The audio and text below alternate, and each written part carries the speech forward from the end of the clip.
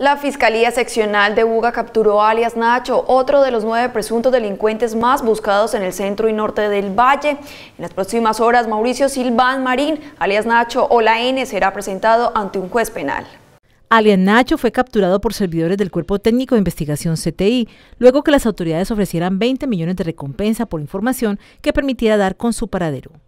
Silva Marín, quien figura en el cartel de los nueve presuntos delincuentes más buscados en el centro del Valle, es requerido por un juez penal para que responda por varios delitos.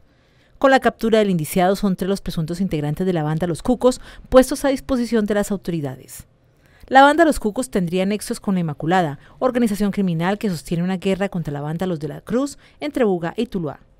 Los Cucos fue desarticulada el pasado mes de noviembre del año 2018, luego de la captura de 18 de sus integrantes, dedicados al tráfico de estupefacientes y homicidios selectivos en la comuna 6 de Tuluá. La oleada de crímenes desatada por el enfrentamiento en la Inmaculada y los de la Cruz habrían incrementado los homicidios en el centro del Valle, lo que llevó al Gobierno Nacional a emitir el cartel de los nueve más buscados. Las bandas Los de la Cruz y la Inmaculada están dedicadas al homicidio selectivo, la extorsión, el secuestro y el tráfico de drogas en esta zona del país. La Fiscalía Seccional imputará cargos a Mauricio Silva Marín, alias la N, como presunto coautor de los delitos de concierto para delinquir agravado con fines de homicidio y uso de menores de edad para la comisión de delitos. Igualmente, le solicitará al servidor judicial dicte medida de aseguramiento en la cárcel.